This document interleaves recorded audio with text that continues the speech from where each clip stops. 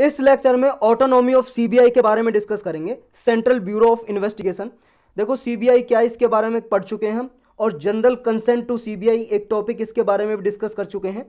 General consent का मतलब होता है, जब सीबीआई किसी स्टेट में इन्वेस्टिगेशन करने जाती है तो अगर किसी स्टेट ने जनरल कंसेंट दी हुई है सीबीआई को तो स्टेट गवर्नमेंट से परमिशन नहीं लेनी पड़ती इन्वेस्टिगेशन करने से पहले। लेकिन अगर किसी स्टेट ने जनरल कंसेंट विद्रॉ कर ली, ले ली वापस तो फिर उसे पहले परमिशन लेनी पड़ेगी स्टेट में घुसने से पहले इन्वेस्टिगेशन करने से पहले। और सीबीआई क्या है?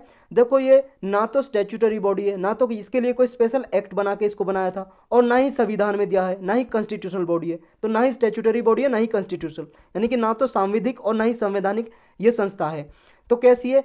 मिनिस्ट्री ऑफ़ होम अफेयर्स ने इसके लिए एक रिजोल्यूशन पास किया, एग्जीक्यूटिव एग्जीक्यूटिव रिजोल्यूशन, और ये बना दी। लेकिन अभी फ़िलहाल मिनिस्ट्री ऑफ़ पर्सनल के अंदर ये काम करती है। तो ये याद रखना है, अभी आते हैं ऑटोनॉमी ऑफ़ सीबीआई यानी कि सीबीआई की ऑटोनॉमी के बारे में। सुप्रीम कोर्ट में सेंट्रल गवर्नमेंट ने ये कहा कि सीबीआई एक ऑटोनोमस बॉडी है, और सुप्रीम कोर्ट में ये भी बोला कि सेंट्रल गवर्नमेंट का कोई भी इसके ऊपर कंट्रोल नहीं है। इसकी जो इन्वेस्टिगेटिंग एजेंसी है ना, इसके ऊपर कोई कंट्रोल नहीं है। इशू क्या है? इशू ये है। देखो, वेस्ट बंगाल गवर्नमेंट ने ये यूनियन ऑफ़ इंडिया, यानी कि गवर्नमेंट ऑफ़ इंडिया के अगेंस्ट ये सूट फ़ाइल किया था सुप्रीम कोर्ट में। सीबीआई के पार्टी नहीं माना था। सीबीआई का केस था, लेकिन यूनियन गवर्नमेंट का नाम लेके किया था कि यूनियन ऑफ़ इंडिया ये इंटरफेयर कर रही है। तो वेस्ट बंगाल ने क्यों बोला था? क्योंकि देखो, सीबीआई की जुरिस्डिक्शन को चैलेंज किया था सुप्रीम कोर्ट में। क्योंकि सीबीआई केस रजिस्टर कर रही थी एफआईआर दर्ज कर रही थी और स्टेट में, वेस्ट बंगाल में इन्वेस्टिगेशन कर रही थी। क्योंकि स्टेट गवर्नमेंट ने, वेस्ट बंगाल ने जनरल कंसेंट वापस ले ली थी 2018 में। उसके बावजूद सीबीआई ने वेस्ट बंगाल में घुसने से पहले वेस्ट बंगाल की गवर्नमेंट से परमिशन नहीं ली। इसलिए सीबीआई के खिलाफ यूनियन गवर्नमेंट का नाम लेके वेस्ट बंगाल ने सुप्रीम कोर्ट में ये फ़ाइल किया था। उसी का जवाब दिया था सेंट्रल गवर्नमेंट ने कि ये ऑटोनोमस बॉडी है, सेंट्रल गवर्नमेंट का कोई इसमें हस्तक्षेप नहीं है। तो ये क्या है पूरा मामला जानेंगे। सेंट्रल गवर्नमेंट का क्या ऑब्जर्वेशन है? सेंट्रल गवर्नमेंट ने कहा कि देखो सीबीआई पावर लेती है इस एक्ट से डीएसपी एक्ट से, Delhi special police establishment act, ये 1946 का एक्ट है, इससे लेती है। यूनियन ऑफ़ इंडिया का इसमें कुछ भी लेना देना नहीं है, ये सेंट्रल गवर्नमेंट ने कहा। जो सेंट्रल विजिलेंस कमीशन है सीवीसी एक स्टेचुटरी बॉडी है भाई साहब, एक्ट बना के इसको बनाया गया था, कानून बना के। ये सुप्रिंटेंडेंस करती है सीबीआई के ऊपर, और ये एक्ट ही कहता है कि इसमें किसी और का इंटरफेरेंस नहीं होगा सीबीआई की इन्वेस्टिगेशन में। लेकिन कुछ चैलेंजेस हैं। सीबीआई की ऑटोनॉमी के सामने कुछ चुनौतियाँ हैं। वो क्या हैं? देखो एजेंसी में जो स्टाफ आता है स्टाफ काम करता है सीबीआई के अंदर, वो मिनिस्ट्री ऑफ़ होम है जो, यानी कि रक्ष, ये गृह मंत्रालय मिनिस्ट्री ऑफ़ होम अफेयर्स के ऊपर डिपेंडेंट होती है, क्योंकि सारा जो स्टाफ है, यही अपॉइंट करती है सीबीआई का मिनिस्ट्री ऑफ़ होम अफेयर्स सारे जो इन्वेस्टिगेटर्स होते हैं, ये आते हैं इंडियन पुलिस सर्विस से, यानी कि आईपीएस जो अधिकारी होते हैं, जैसे आप आई आई एस आई की तैयारी कर रहे हो, आप सिविल सर्विस का यूपीएससी का पेपर दोगे अगर आप आईपीएस बन जाते हो तो ये सीबीआई में इनको डेपुटेशन पे भेज देती है गवर्नमेंट तो ये एजेंसी में देखो मिनिस्ट्री ऑफ़ जो लॉ मिनिस्ट्री है, उसके ऊपर भी डिपेंड होती है. कोई फंक्शनल ऑटोनॉमी कुछ हद तक इसकी नहीं होती है. सीबीआई में जो चलाते हैं, वो आईपीएस ऑफिसर चलाते हैं. जो डेपुटेशन पे होते हैं, इन्हीं को अपॉइंट करते थे सीबीआई में. सेंट्रल गवर्नमेंट वही देखो सीबीआई का डायरेक्टर बनता है, वो कौन बनता है? आईपीएस ऑफिसर बनता है. तो ये सेंट्रल गवर्नमेंट की एबिलिटी है कि वो अपने हिसाब से मैनुपुलेट कर सकती है सीबीआई को.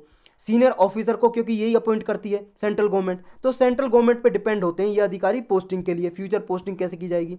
तो सेंट्रल गवर्नमेंट इंटरफेयर कर सकती है। सेंट्रल गवर्नमेंट के काम, कहने पे काम कर सकते हैं, क्योंकि इन्हें डर रहता है, ये आगे पोस्टिंग कहीं और कर देंगे या हटा देंगे कैसे? तो ये भाई साहब डिपेंडेंट होती है एक तरह से। तो स्टेट गवर्नमेंट पे भी डिपेंड होती है कैसे? देखो, सारे इन्वेस्टिगेशन केस जो स्टेट में करने होते हैं तो स्टेट ने अगर जनरल कंसेंट दे रखी है तो ठीक है स्टेट गवर्नमेंट की परमिशन नहीं लेगी, जाके इन्वेस्टिगेट कर लेगी।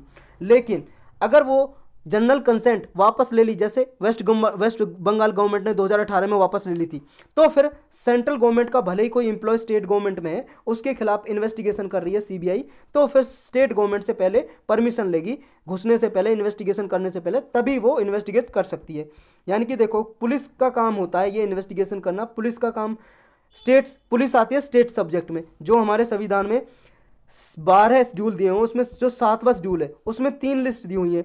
कनकरेंट लिस्ट सेंट्रल लिस्ट और स्टेट लिस्ट स्टेट में जो सब्जेक्ट लिए गए हैं स्टेट गवर्नमेंट ही नॉर्मली लॉ बना सकती है उन पर कानून बना सकती है.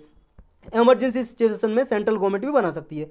जो सेंट्रल लिस्ट में दिए हैं, उनमें केवल और केवल सेंट्रल गवर्नमेंट ही लॉ बना सकती है उसके लिए. और कनकरेंट लिस्ट में दोनों बना सकती है स्टेट और सेंट्रल गवर्नमेंट अगर सेंट्रल गवर्नमेंट का लॉ बना हुआ है तो वही प्रिवेल करेगा, वही माना जाएगा। लेकिन पुलिस आती है स्टेट सब्जेक्ट में। यानी कि इसके लिए कौन, लॉ कौन बना सकता है? State government. तो पुलिस किसके अंदर है? स्टेट के। अलग अलग अलग स्टेट की हमारे देश में अलग अलग पुलिस है। तो स्टेट के दायरे में आती है, स्टेट गवर्नमेंट के अंदर। और सीबीआई जब ये इन्वेस्टिगेशन कर रही होती है तो कोड ऑफ़ क्रिमिनल प्रोसीजर के अंदर ये करती है, केस दर्ज और उसी के द्वारा करती है। यानी कि पुलिस एजेंसी की तरह काम करती है। तो पुलिस को पुलिस की तरह काम करती है तो स्टेट गवर्नमेंट से परमिशन लेने की ज़रूरत है कंसेंट लेने की ज़रूरत है सीबीआई को। अगर वो कोई भी कोई भी प्रोसीजर कोई भी इन्वेस्टिगेशन कर रही है, करने से पहले तो अगर स्टेट गवर्नमेंट ने जनरल कंसेंट दे रखी है, तब तो नहीं लेगी। अगर विदड्रॉ कर लिए तो इसे परमिशन लेनी पड़ती है। तो एक तरह से एक कम्बरसम प्रोसेस है, एक बेढंगा एक प्रोसीजर है, जो अभी चल रहा है। अब सुप्रीम कोर्ट का क्या कहना है सीबीआई की ऑटोनॉमी के बारे में? सुप्रीम कोर्ट का 1997 का एक केस है Vineet Narayan versus Union of India. इसमें बहुत सारे स्टेप दिए थे ताकि सीबीआई की ऑटोनॉमी को सिक्योर किया जा सके।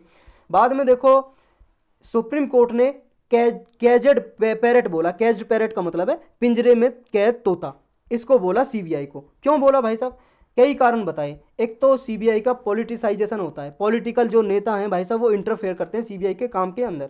और पॉलिटिकली बाइज्ड करप्शन होता है। करप्शन भी होता है और पॉलिटिकली बाइज्ड क्योंकि सुप्रीम कोर्ट ने एक क्रिस्टिसिज्म किया है कई बार। कैज्ड पैरेट बोला है कि जो जो पार्टी होती है ना पार्टी पावर में होती है, उसी के कहने पे ये काम करती है एक तरह से, क्योंकि ये इसको मैनुपलेट कर सकती है। जो सेंट्रल पुलिस ऑफिसर होते हैं, वो डेपुटेशन पे कौन अपॉइंट करता है सीबीआई में? सेंट्रल गवर्नमेंट तो सेंट्रल गवर्नमेंट अपने हिसाब से इसको इन्फ्लुएंस कर सकती है, प्रभावित करती, कर सकती है सीबीआई को।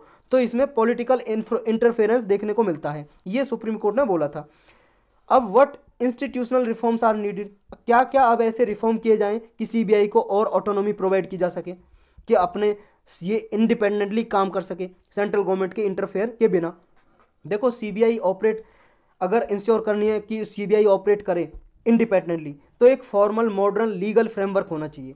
यानी कि देखो सेकंड एडमिनिस्ट्रेटिव रिफॉर्म कमीशन है जो सेकंड एआरसी ये 2007 में इसने एक सजेस्ट दिया था रिकमेंडेशन की थी कि भाई साहब न्यू लॉ बनाए इसको गवर्न करने के लिए सीबीआई के लिए। एक अलग से लॉ बनाए। ये डीपीएससी जो लॉ बना हुआ है 1946 का, इसमें इसको, इसके द्वारा इसको पावर ना दें, बल्कि इसके लिए अलग लॉ बनाए, कानून बनाए, ताकि इसकी इंडिपेंडेंट इंश्योर की जा सके, सुनिश्चित की जा सके।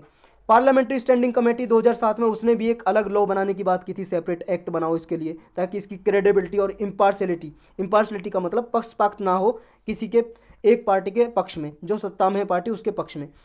फिर 2007 और 2008 में पार्लियामेंट्री स्टैंडिंग कमेटी की नाइनटीन और ट्वेंटी रिपोर्ट आई थी, उसमें भी यही बात बोली थी कि लीगल मैग्नेट हो, एक अलग से लॉ बनाओ इंफ्रास्ट्रक्चर और रिसोर्सेज इसके लिए अलग से हों और फाइनेंशियल ऑटोनॉमी प्रोवाइड करे गवर्नमेंट साथ साथ देखो, जैसे कैग को ऑटोनॉमी मिली हुई है ना कंट्रोलर एंड ऑडिटर जनरल को, इसी तरह से ऑटोनॉमी दी जाए सीबीआई को। एक नया सीबीआई एक्ट गवर्नमेंट को लाना चाहिए, जिसमें क्वालिटी और सुपरविजन यानी कि सुपरविजन की क्वालिटी को इम्प्रूव किया जाए सीबीआई को सीबीआई के लिए।